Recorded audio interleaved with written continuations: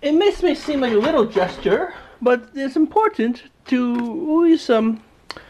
This is what I this is what I like to do. I like to switch to handkerchiefs. I have a whole bunch here from my brother's place and stuff, and here and uh, because what you can do, what you do is these Kleenexes are actually made out of trees and bleach, the whiteness. The bleach can seep into the river or waterways. I'm assuming they have some pa paper and pulp paper and pulp mill up in the woods someplace. You know. So what you do is um, you just dump the old stuff, old, old handkerchief into the wash, and you keep the new handkerchief. Um, this is another reason why I quit smoking as well. Smoking, uh, how smoke, how tobacco is processed is tobacco is processed by um, by the way wood curing. They require a lot of uh, oh, they require a lot of um, teak wood. This and also you you clear land space, you clear a uh, space for tobacco plantations. So those are things you can do.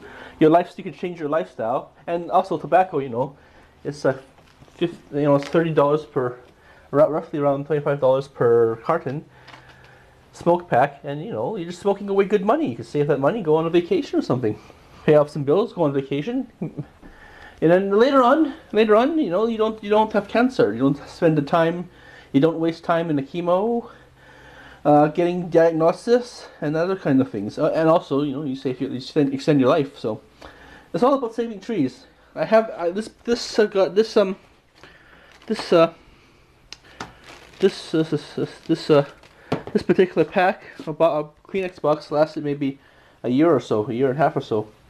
So that's what I do. I gotta remember to uh in the morning time to just grab this here and throw it into here. Recycling is, you know, this is pretty much, this trash here is pretty much trash I cannot reuse. Uh, so that's lasted there for a very long time. And uh, yeah, this is my, is my recycling there. Recycle anything I can. Like I mean, these are plastic. I just replaced them last night with the metal ones. These ones are all old and falling apart, so they get they get grinded up, they get reused, reduce, reuse, and recycle. Your whole your whole lifestyle can change. And see, look how look how much this just this recycle. This very little garbage.